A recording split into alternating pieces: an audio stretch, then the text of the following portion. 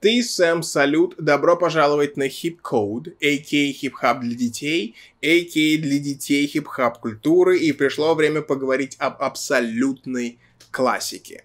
Rolling Stones называет этот альбом 133-м в списке 500 лучших альбомов всех жанров и всех времен.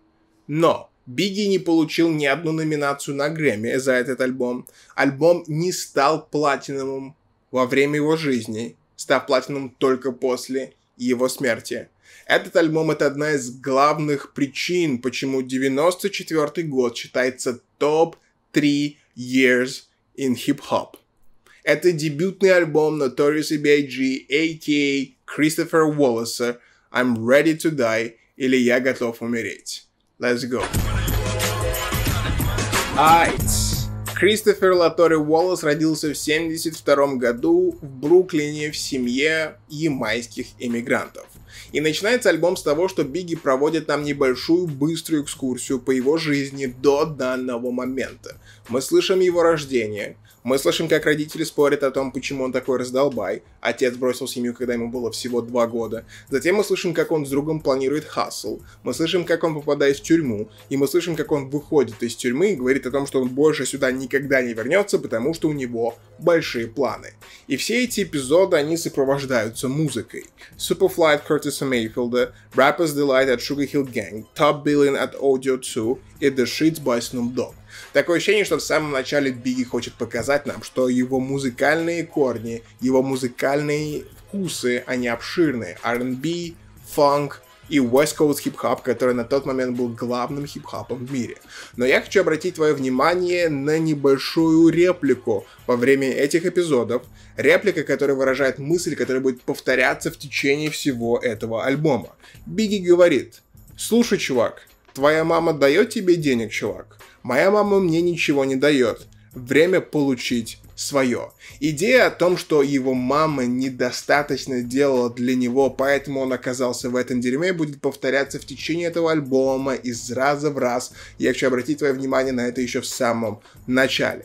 И вообще это интро одно из моих самых любимых, одно из лучших интро, которые я когда-либо слушал, потому что оно плавно вводит тебя в курс, в контекст и в историю, и затем начинается композиция Things Don't Change, которая сходу же начинается с таких слов.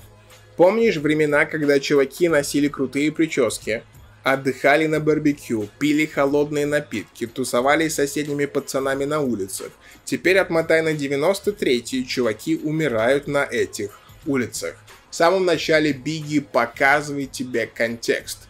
Он настраивает, так сказать, эту сцену и показывает тебе, то, о чем он будет говорить на этом альбоме, не всегда было так. Кроме того, не то, что даже не всегда было так, ему не нравится то, о чем он будет говорить на этом альбоме.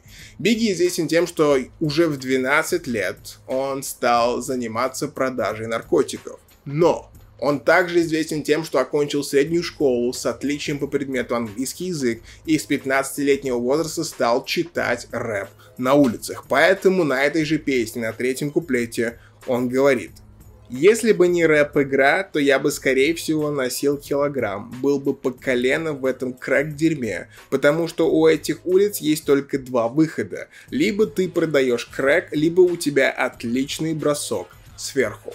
С самого начала этого альбома мы понимаем, что это история о образованном и талантливом мальчике. Это история о мальчике, который родился в, в ужасном environment, который настроен против него, который вынуждает его делать вещи, о которых он сам не гордится. И кроме того, это история 21-летнего чувака, который заявляет о том, что он готов умереть. Затем приходит песня, в которой Бигги Бигги создает гимн образу жизни, который поддерживает он и миллионы людей в этой стране. Он создает гимн этой хасл жизни. Но в этом гимне он умудряется рассказать и показать как эмоциональную сторону этого образа жизни, так и систематическую, историческую, так и корни этого образа жизни. И так как в самом начале мы поняли, что Бигги не просто какой-то рэпер, а талантливый поэт с, с молодости, он не просто высказывает свои мысли под бит, а придумывает интересный твист. На первом куплете мы слышим «Я готов забрать эти деньги, старик. Ты со мной Конечно же, посмотри на мои карманы, они и так пусты. Бигги выкладывает этот гимн в стиле сторителлинга, а именно в стиле разговора двух чуваков, которые собираются на хасл, и первый чувак, и второй чувак — это голоса Бигги. И опять-таки, когда я слушаю Gimme the Loot, я вижу то, как Бигги показывает эмоциональную составляющую хасл жизни и систематическую. Систематическую я вижу на первом куплете в словах «Чувак, тебе не нужно мне ничего объяснять. Я ворую с тех пор, как сошел с судна работорговца». Это слова комментарии на тот environment, в котором эти два чувака находят себя. Они изначально находят себя в непригодных, в ужасных обстоятельствах, которые подталкивают их делать то, что они делают. Опять-таки, это исторические или систематические корни хасл жизни. Затем я вижу эмоциональное, там, где на втором куплете он говорит – я просеиваю район, ворую у женщин тоже, и мне плевать, если ты беременна, гони свои кольца и подарки на Кристины. Что за дерьмо, думаешь ты? А потом ты вспоминаешь, что в самом начале он же сказал I'm ready to die. Он объявил войну всему, поэтому ему абсолютно наплевать на все. Что значит gimme the loot? Когда ты слышишь gimme the loot, это значит, что чувака не нужно стараться переубедить. Это значит, что с чуваком не нужно стараться спорить. Это значит, что нужно отдать ему все, что у тебя есть. Потому что человек, который дошел до состояния gimme the loot, он находится на абсолютном дне своего существования. Он уже ответил на себе, для себя на все вопросы. Я хочу обратить внимание на то, что мы находимся только в самом начале этого альбома, а Бигги уже успел подарить нам гимн. Gimme the Loot — это один из самых больших песен хип-хопа. И Бигги не просто выдает, опять-таки, рифмы под бит, он придумывает любопытный поэтический инструмент. Этот Песня звучит как короткометражный фильм от 21-летнего чувака. И кроме того, он умудряется внедрить комплексный образ жизни, который опять-таки содержит как эмоциональные составляющие, так и исторические систематические. Все это он укладывает в одну фразу «Gimme the loot». Когда ты слышишь фразу «Gimme the loot», каждый понимает, что это значит. Следующая песня, которую я хочу отметить, это Ready to Die, или «Я готов умереть», или заглавная песня альбома, титульная песня альбома. И когда ты доходишь до этого момента на альбоме, ты уже успел проникнуться историей героя, или хотя бы ты успел увидеть, разглядеть его боль и понять, что изначальное твое отношение к этому герою, или изначальные твои суждения, или изначальный твой скепсис, он был скорее плодом твоего незнания, потому что, как оказалось, не все так просто. Как оказалось, у его образа жизни, у того, что он делает, есть огромные истоки, есть огромные корни, которыми он успел поделиться вплоть до этого момента. И затем на этой песне, на первом куплете ты слышишь такие слова. «Мое дерьмо глубоко, глубже, чем мой гроб. Я готов умереть, и меня никто не спасет. В жопу мир, в жопу мою маму и мою девушку. Моя жизнь еще более запутанная, чем куды Джерри Кэрл. Я готов умереть. Эта строчка о том, что мое дерьмо глубоко и глубже, чем мой гроб, она показывает две вещи. Опять-таки, то, что ты о нем думал, видя его где-то там на улице, здесь ты понимаешь, что ты многого не знал. Именно поэтому ты бросал на него эти стереотипы и это мышление. Затем мысль о том, что моя Мое дерьмо глубже, чем мой гроб, говорит о том, что Бигги отдает себе полный отчет. Он отдает себе отчет о том, как это закончится. Он говорит о том, что он умрет за то, что он делает. И слушая этот альбом, ты видишь, что Бигги не старается изобразить эту жизнь, эту хасл жизнь, эту гангстер жизнь в каких-то ярких цветах. Нет, он старается максимально искренне, максимально детально показать тебе, из чего состоит его lifestyle. И потом, Вспомни, в самом начале была его мама, на этой песне она снова возвращается на втором куплете. «Моя мама не давала мне то, чего мне было нужно. Что за дерьмо? Именно поэтому теперь я использую свой глок. Дерьмо реально, и я голоден». Затем после этих слов ты слышишь, как в конце на аутро этой песни Pop Daddy поет колыбельную. Я не знаю почему, Возможно, это его поэтический гений, он старается показать, но в течение этого альбома он постоянно будет повторять о том, что вполне возможно Кристофер Уоллес не стал бы тем Notorious B.I.G., которого мы знаем, если бы его родители, если бы его мама в самом начале жизни употребила должное время и должное внимание на воспитание своего сына.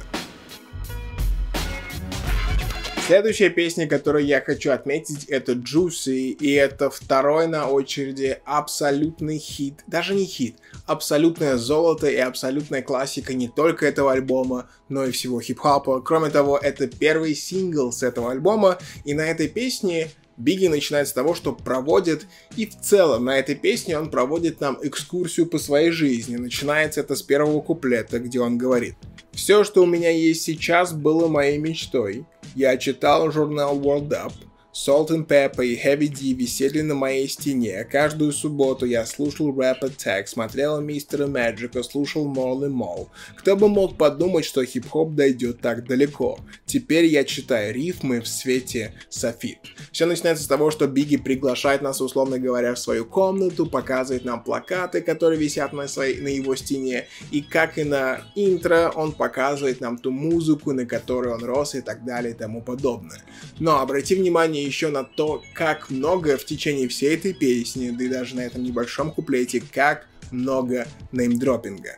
Эта песня считается классикой не только потому, что Бигги тут интересно, любопытным образом проводит нам экскурсию по всей своей жизни, но кроме того, когда ты слушаешь эту песню, ты, условно говоря, видишь небольшую экскурсию по становлению хип-хопа. Эта песня показывает как становление Бигги, так и становление Хапа, он это все увязал в одно, и поэтому это считается одной из самых больших песен в истории хип-хопа. Кроме того, это его строчка о том, что кто бы мог подумать, что хип-хоп дойдет так далеко, он это сказал в 93-94 году, но эти слова до сих пор цитируются в отношении того, как сильно и как быстро смог развиться этот хип-хоп гигант. Затем приходит куплет, я хочу обратить твое внимание на него. Ты отлично знаешь, кто ты есть. Не позволяй чувакам держать тебя, целься в звезды, у тебя есть цель. Это первый позитивный момент на этом альбоме. Даже на относительно веселом бите Machine Gun Funk Бигги говорил о том, что он живет с фанком и о том, что он умрет с фанком. А здесь мы впервые на этом альбоме слышим какую-то весточку надежды, мы слышим этот голос, который говорит Бигги о том, что ты на этой песне забываешь о том, что чувак хочет умереть. Он будто бы рассказывает нам о своей мечте и все еще имеет будто бы какую-то веру относительно перспектив своей жизни. Затем на втором куплете приходят одни из моих любимых слов во всем гребаном хип-хопе. Меня считали идиотом, потому что я бросил школу. Стереотипы черного мужчины неправильно понятые. Fuck. Stereotypes of a black man misunderstood. Эта строчка, она это золото. В этой строчке Бигги опять-таки показывает, когда ты смотришь на него со стороны, ты не знаешь его бэкграунда, ты не знаешь истоки его боли. Поэтому стереотипы черного чувака неправильно поняты. Ты видишь, что о, он бросил школу, он торговал крэком, но ты не знаешь, что он закончил среднюю школу с отличием по английскому языку.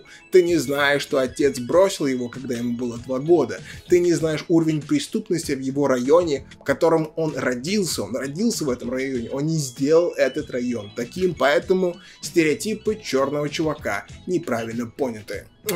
Я вспоминаю нашу однокомнатную дыру. Теперь моя мама ездит на дорогой машине, и она любит хвастаться обо мне своим подругам. Она улыбается всякий раз, когда мое лицо на обложке The Source. Вспомни, в течение всего этого альбома он, он уничтожал свою маму, говоря о том, что эта дура не заботится о нем. А здесь он говорит о том, что, йоу, его мама гордится им. Чуть раньше он говорит о том, что они пьют вместе шампанское.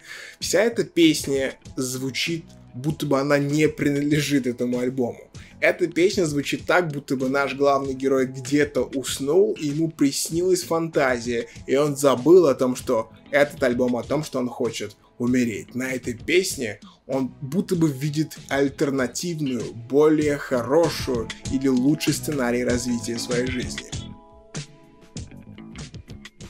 Следующая песня, которую я хочу отметить, это Big Papa, следующий хит не только этого альбома, но и в целом хип-хоп музыки.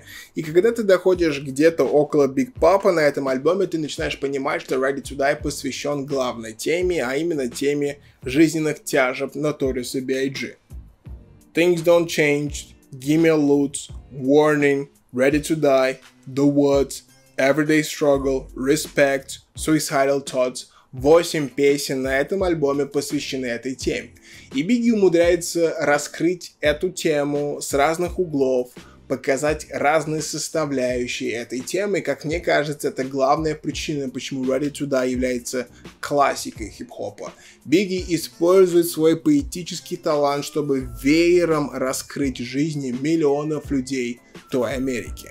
Затем, конечно же, есть песни Big Papa и песни One More Chance, Fuck Me, Friend of Mine, Just Playing, Me and My Bitch, песни, в которых мы видим уже другую тему этого альбома, а именно секс и взаимоотношения с девушкой. Есть Fuck Me, который является фактически сценой секса Бигги и Lil Kim. Есть интро, точнее аутро на Respect, где девочка делает минет Бигги, и интро на One More Chance, где мы слышим телефонные звонки девушек, которые стараются понимать, почему Бигги их игнорирует. Когда ты слышишь эти песни, у тебя создается ощущение, будто бы Бигги решил достигнуть более широкой аудитории. Это можно приписать влиянию Пафа Дэдди. Все мы знаем историю о том, что Паф познакомился с Бигги, увидел его талант, обалдел, но Бигги в то время занимался торговлей наркотиками, и Пав старался всеми силами уговорить Бигги бросить это и сконцентрироваться на музыке. Все мы знаем, что этот альбом писался в два захода. На первом заходе первая половина песен была записана еще когда Бигги занимался грязными делами, вторая половина была записана уже на Bad Boy Records, когда Пафу удалось уговорить и вытащить Бигги из этого и сконцентрировать его на музыке. Все мы знаем, что Бигги не хотел изначально читать на бите Juicy, потому что считал его слишком женским, слишком мягким, и в целом Бигги видел свой дебютный альбом как уличный, сырой, гангста, crazy ass shit, но Pop Daddy смог уговорить его не только зачитать на Juicy, но и попробовать достигнуть более широкой аудитории, и у него это получилось. Juicy дошел либо Juicy, либо Big Papa дошел до шестой позиции на Billboard. Кроме того, когда ты слышишь Big Papa, ты не только слышишь Бигги уже более мягким, будто бы заигрывающим со слушателем, уже не агрессивным, но ты слышишь и G-Funk бит на этой песне. То есть, как мне кажется, вот все это разнообразие, которое мы слышим в итоге на Ready to Die, можно отдать в заслугу Puff Daddy, который стал архитектором одного из самых больших альбомов в истории хип-хопа. И последняя песня, которую я хочу отметить, фактически завершающая песня этого альбома, это Suicidal Thoughts или Суицидальные мысли. И несмотря на редкие включения радости на этом альбоме, несмотря на историю секса на этом альбоме. Главный герой в конце альбома возвращает нас к тому, с чего он начал. Слова, где он говорит «Когда я умру в жопу, я попаду в ад, потому что я кусок дерьма, и это не так сложно разглядеть. Не имеет смысла идти на небеса с хорошими чуваками, они одеты в белые, я же люблю черные тимбаленды и черные худи. Этот альбом начался с его манифеста о том, что я готов умереть, что значит меня уже больше ничего не держит, что значит либо я достигну того, что я хочу, либо я умру. И он заканчивает на этом манифесте. Не забывайте, я готов умереть. И я знаю, каким будет результат того лайфстайла, который я выбрал. Затем на этой песне мы слышим снова-таки, снова-таки, снова-таки его маму, где он говорит «Всю свою жизнь меня считали куском дерьма. Я лгал своей матери, даже украл из ее кошелька. Преступление после преступления. От наркотиков до вымогательства. Я знаю, моя мама сейчас думает, лучше бы я сделала аборт. И затем завершает свой гранд опус Биги абсолютно прямолинейными словами, абсолютно прямолинейным концом. Стресс нагнетается.